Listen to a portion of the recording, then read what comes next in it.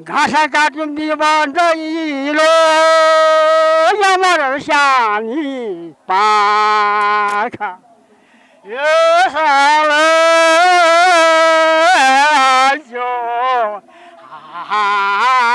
गोठा मेरो रायाले गोठा मेरो रायाले मकरी गाउँछ बिबाजैलो रसै खानी न्युले यो साल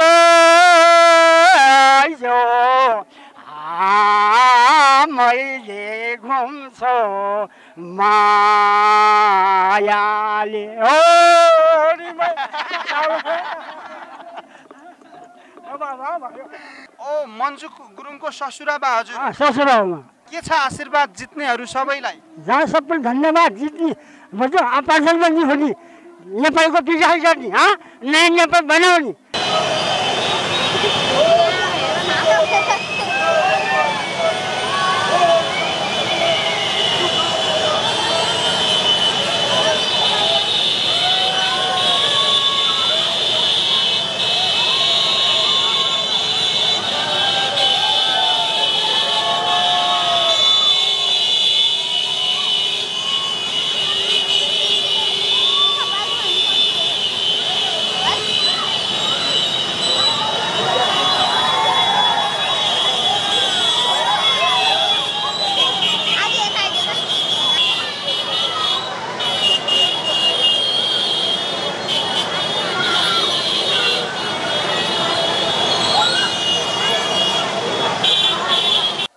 पश्चिमाञ्चलको पहिचान राष्ट्र निर्माणमा हाम्रो अभियान। नमस्कार। फेवा टेलिभिजनको विशेष कार्यक्रममा यहाँलाई हार्दिक स्वागत छ। म हेमराज र मलाई क्यामेरामा साथ दिइरहनु भएको छ क्यामेरा पर्सन दुवै सन्दीप खनाल र किसन पौडेलले। दर्शकबिन करिब बिस वर्ष पछाडि नेपालमा स्थानीय तहको निर्वाचन भयो। दुई हजार चौहत्तर साल वैशाख एकतिस गते र नेपालकै सबैभन्दा ठुलो पोखरा लेखनाथ महानगरपालिका। पोखरा लेखनाथ महानगरपालिकाको यो र्याली तपाईँले देख्न सक्नुहुनेछ। विजय र्याली हो। पोखरा लेखना पोखरा लेखनाथ महानगरपालिकामा नेकपा एमालेको तर्फबाट मेयर र उपमेयरका उम्मेदवार दुवै मानबहादुर जीसी र मन्जुदेवी गुरुङले जित्नु भएको छ र आज नेकपा एमाले विजय र्याली सँगसँगै विजय सभा आयोजना गरेको छ पोखराको अमरसिंह चौरमा र जसलाई सम्बोधन गर्दै हुनुहुन्छ पूर्व प्रधानमन्त्री एवं नेकपा एमालेका अध्यक्ष केपी शर्मा ओलीले। र यो र्याली तपाईँले देख्दै हुनुहुन्छ नेकपा एमालेको विजय र्याली हो र यो र्याली पोखराको अमरसिंह चौरमा गएर सभामा परिणत हुनेछ हामीले जानकारी प्राप्त गरे अनुसार। र यहाँले दृश्यमा देख्न सक्नुहुन्छ नेकपा एमालेको तर्फबाट पोखरा लेखनाथ महानगरपालिकाको मेयर पदका निर्वाचित मानबहादुर जीसी हामीले यो दृश्यमा तपाईँलाई देखाइरहेका छौँ र यो नेकपा एमालेको यो र्याली तपाईँले देख्न सक्नुहुन्छ यो र्याली पृथ्वी चोकबाट यो पुल हुँदै अमरसिंह चौरतर्फ अगाडि बढिरहेको छ र हामीले जानकारी प्राप्त गरे अनुसार नेकपा एमालेका अध्यक्ष एवं पूर्व प्रधानमन्त्री केपी शर्मा ओलीले सम्बोधन गर्ने कार्यक्रम रहेको छ र नेकपा एमालेको यो र्याली अमरसिंह चौरतर्फ अगाडि बढिरहँदाखेरि यो हामीले देखाउँ दर्शकहरूलाई पृथ्वी चोकदेखि यो विजय र्याली अमरसिंह चौरतर्फ अगाडि बढिरहेको छ र निकटतम प्रतिद्वन्दी नेपाली कङ्ग्रेसका उम्मेदवारलाई भारी मत मतान्तरले जितेका हुन् पोखरा लेखनाथ महानगरपालिकामा मानबहादुर जेसीले। र मेयर तथा उपमेयर नै नेकपा एमालेका उम्मेदवार दुवै मानबहादुर जीसी र मन्जुदेवी गुरुङ निर्वाचित भए पछाडिको यो दृश्य हामीले तपाईँलाई देखाइरहेका छौँ। यो र्याली र यो र्याली अमरसिंह चौरतर्फ अगाडि बढिरहेको छ। नेपालमा निकै लामो समय पछाडि स्थानीय तहको निर्वाचन भयो र जनताहरूले उत्साहपूर्ण ढङ्गबाट मत केन्द्र मतदान केन्द्रसम्म पुगेर मतदान गर्नुभएको थियो र एक खालको जनतामा देखिएको खुसियाली र उत्साह किनकि अब स्थानीय तह नेतृत्वविहीन भएको सन्दर्भमा निकै लामो स्थानीय तहको नेतृत्वविहीन भएको सन्दर्भमा अब स्थानीय तहले नेतृत्व पाए पाएको छ। देश समृद्धिको बाटोमा जानुपर्छ। सम्पूर्ण नेपालीहरू एकजुट भएर देशलाई समृद्धिको बाटोमा अब पनि लान नसक्ने हो भने देश कसले बनाउने? यस अर्थले गर्दा जति पनि निर्वाचित हुनुभएको छ जनप्रतिनिधि उहाँहरूलाई हार्दिक मङ्गलमय शुभकामना फेवा टेलिभिजनको तर्फबाट। तपाईँलाई जनताले म्यान्डेट दिएर अब जनताको काम गर्न आफ्नो टोल आफ्नो नगर महानगर र क्षेत्र बनाउनको लागि पठाउनु भएको छ। यदि त्यो कुरा अब पनि तपाईँले बुझिदिनु भएन भने अब देश कसले बनाउँछ? देश हामीले नै हो बनाउने। सम्पूर्ण राजनीतिक दलहरू मिलेर एकजुट भएर देश निर्माणको अभियानमा लाग्नुपर्छ। हामी तपाईँसँग निरन्तर रूपमा जोडिरहेका छौँ फेवा टेलिभिजन मार्फत। र यो र्याली हाम्रा दर्शकहरूलाई देखाउँ। यो र्याली चाहिँ अमरसिंह चौरतर्फ अगाडि बढिरहेको छ र र्यालीमा सहभागीहरूको एकखालको उत्साह हामीले देख्न सक्छौँ। यहाँ नेकपा एमालेको यो विजय र्याली हो। दर्शक महानुभाव यो विजय र्याली अमरसिंह चौरतर्फ अगाडि बढ्दै गर्दा फेवा टेलिभिजन पनि पल पलका गतिविधि तपाईँलाई सम्प्रेषण गर्दै अगाडि बढिरहेको छ र एकतिस गते भएको निर्वाचन र यो निर्वाचनले जनप्रतिनिधि अब पठाइसकेको छ। यो जनप्रतिनिधिले अब देशको आफ्नो ओडाको र आफ्नो एरियाको समृद्धि र विकास गर्नुपर्छ। निकै रमाइलो झाँकी र्याली सँगसँगै यो टिम अमरसिंह चौधतर्फ अगाडि बढिरहेको छ। हामीले जानकारी प्राप्त गरेअनुसार नेकपा एमालेका अध्यक्ष एवं पूर्व प्रधानमन्त्री केपी शर्मा ओलीले यो विजय सभालाई सम्बोधन गर्नुहुनेछ र यो र्याली पृथ्वी चोक हुँदै अमरसिंह चौरतर्फ अगाडि बढिरहेको छ र हामी यो पल पलको गतिविधि तपाईँलाई सम्प्रेषण गर्दै हिजो पनि अगाडि बढाएको थियौँ र आज पनि गरिरहेका छौँ र निकै रमाइलो गरिरहेको छ। यहाँले देख्न सक्नुहुन्छ पञ्चे बाजा सँगसँगै रमाइलो र यो रमाइलो पलमा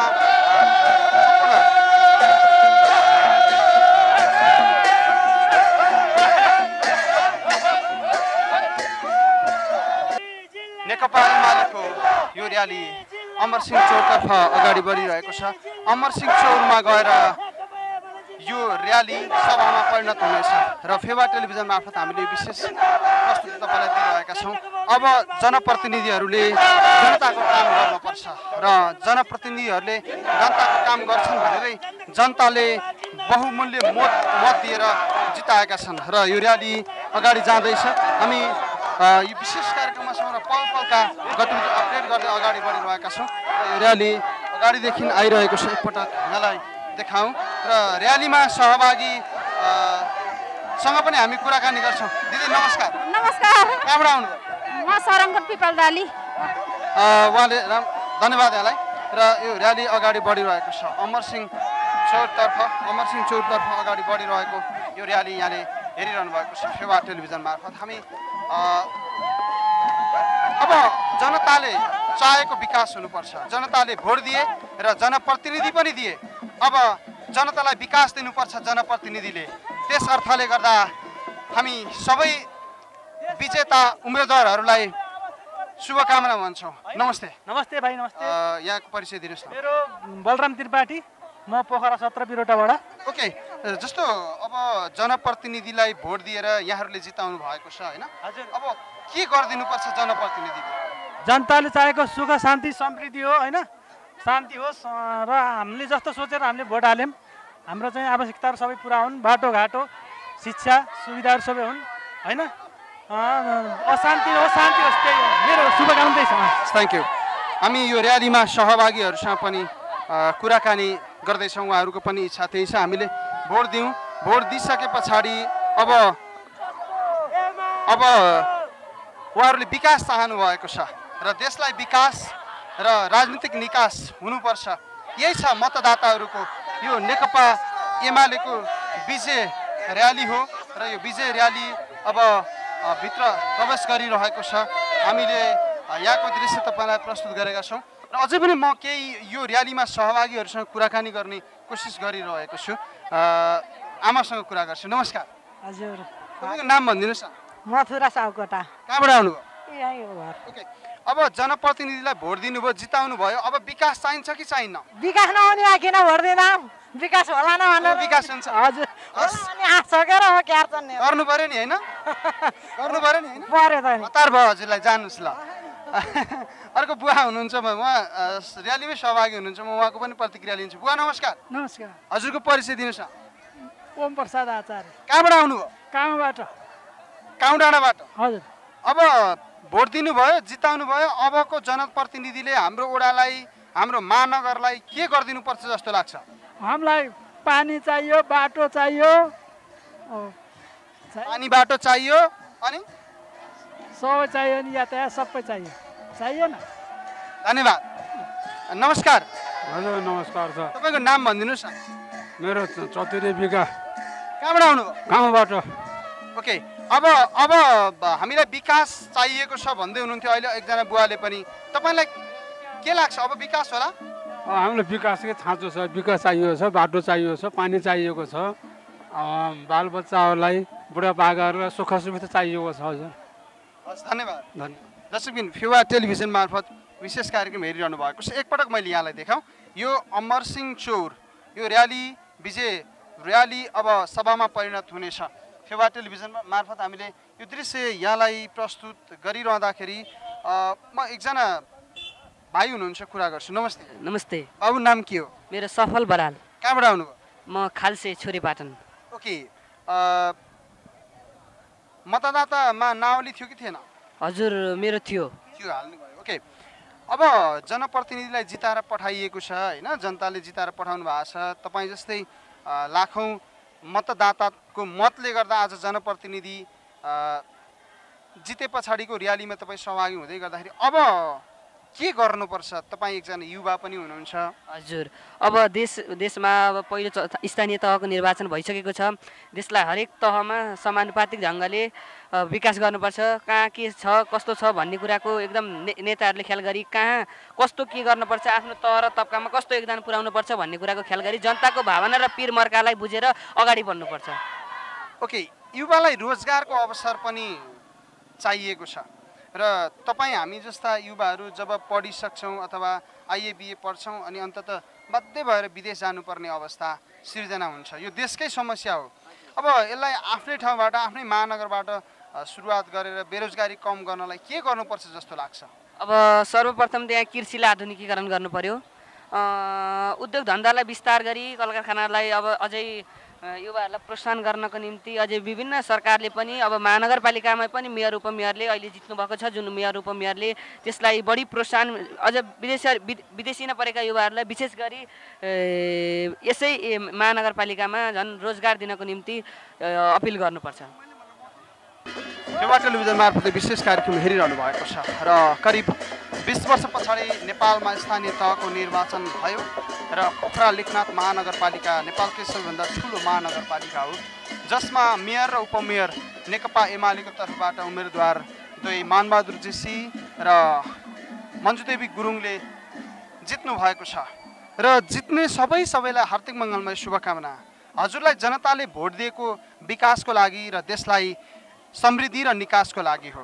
त्यस अर्थले गर्दा जनप्रतिनिधिको मतको कदर सँगसँगै जनभावनाको कदर अवश्य पनि गरिदिनु हुनेछ हामी यो विशेष कार्यक्रममा छौँ र यहाँ युवा जमात हुनुहुन्छ जो एमालेको टी सर्ट पनि लगाउनु भएको छ। म थोरै कुराकानी गर्ने कोसिस गर्दैछु। नमस्ते। नमस्कार। यहाँलाई स्वागत छ फेवा टेलिभिजन। धन्यवाद। हजुरको परिचय दिनुहोस् न। मेरो कल्पना अधिकारी वडा नम्बर बाह्र। अ, अर्को दाई मोबाइल चलाएर बस्नु भएको छ। नमस्कार। नमस्ते। स्वागत छ यहाँलाई। धन्यवाद। कहाँबाट आउनुभयो? म मालेबाट ओके अब हामीलाई के चाहिएको छ? हामी के चाहन्छौँ? यति लामो समय पछाडि स्थानीय तहको निर्वाचन भयो र चौतिसवटा जिल्लामा पहिलो चरणको सँगसँगै दोस्रो चरणको पनि आउँदैछ होइन?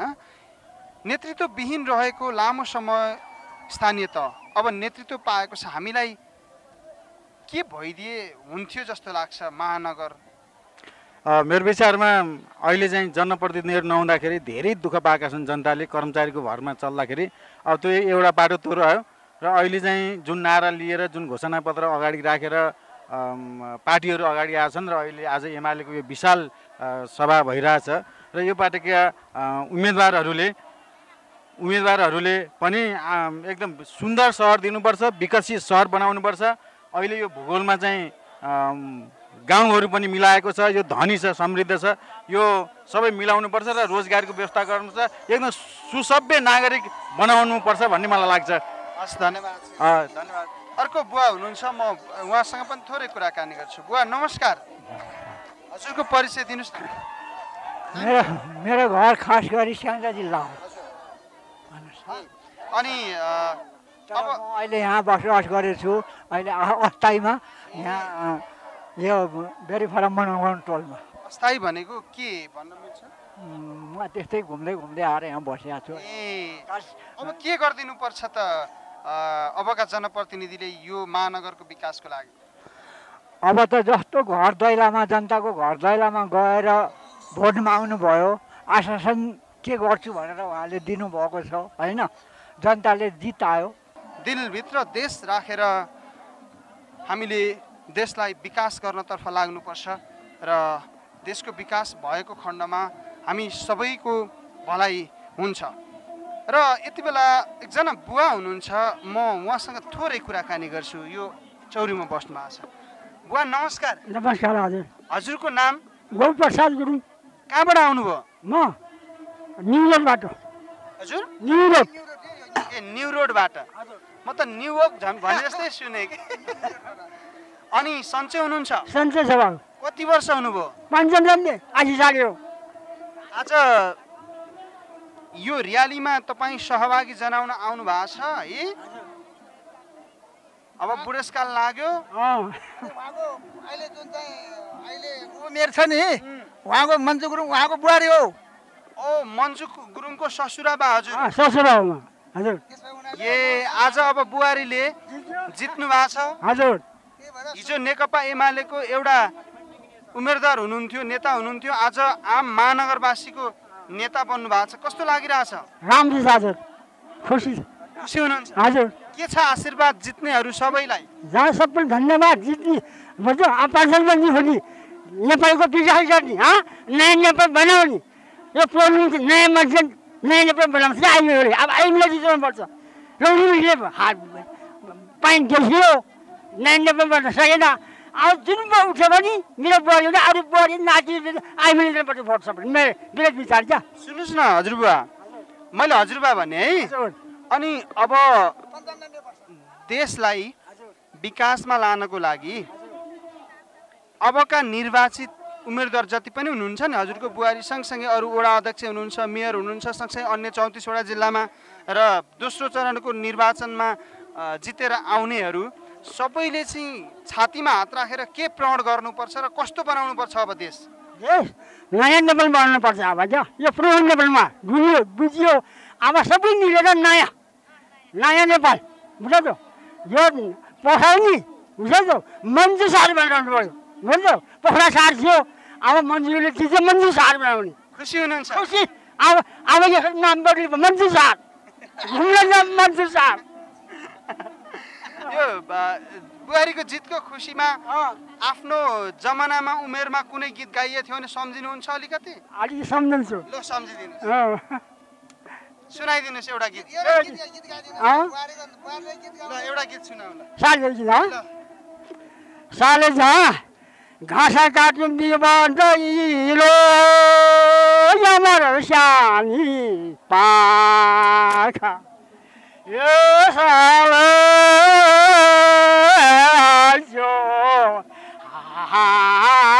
गोठा मेरो रायाले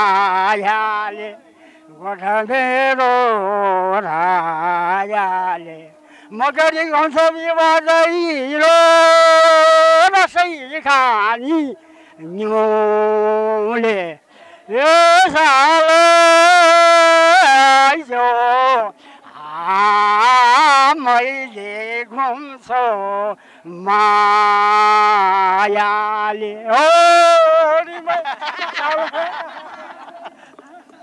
अब भयो। उमेर छँदा के गर्नुभयो हजुरले? ए अमेर साहब जे पनि बा उडेर चाहिँ समात्यो सुन त भयो भैँसामा क्या? अब बुढो भयो। आज तपाईँका छोराहरू तपाईँका बुहारीहरू र जति पनि निर्वाचित भएका छन् छोरा नाति बुहारी छोराछोरी नै हुन् होइन? यहाँले भन्नुभयो नयाँ नेपाल बनाउनु पर्यो। अब त डाँडामाथिको जुन गाम जस्तै भइएको छ यद्यपि यहाँलाई पनि नयाँ नेपाल हेर्ने रहर चाहिँ छ। यहाँ लेभलमा नाच्नु छुट्छ क्या बाटो बाटो नाता रहेछ अब पन्चानब्बे वर्ष पन्चानब्बे वर्ष अब स्याहार्नेमा लाग्यो काकीदेखि अब छ महिना भयो स्याहार्नेमा लाग्यो यो खुसी यहाँको रहिरहोस् र दीर्घ आयु भइरहोस् हामी जस्ता छोरा नातिलाई आशीर्वाद दिइराख्नु होला हजुर है आजकलको केटाबारी भोलि पछि भोलि नेता हुन पाओस् मेरो नातिहरू हो कि नेता हो नि नेता नेता भन्दा नेता बनेर देशको विकास गर्न सकुन्। होइन। जय होस्. धन्यवाद दर्शकबिन एकजना हजुरबा उहाँसँग यो खुसी उहाँको यो खुसी। उमेरले बुढेसकाल लागे पनि लौरोको सहारामा उहाँ यो ठाउँसम्म आउनु भएको छ। र खुसी हुनुहुन्छ। एक त आफ्नो बुहारी उपमेयरमा मन्जुदेवी गुरुङ निर्वाचित भए पछाडि सँगसँगै उहाँलाई तीव्र इच्छा छ नयाँ नेपाल देख्ने।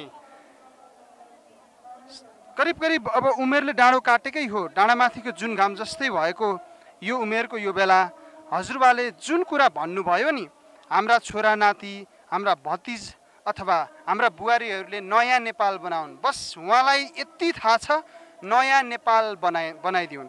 अब नयाँ नेपाल बनाउने कि नबनाउने? जननिर्वाचित नेताको हातमा छ। हजुरलाई जनताले भोट दिए।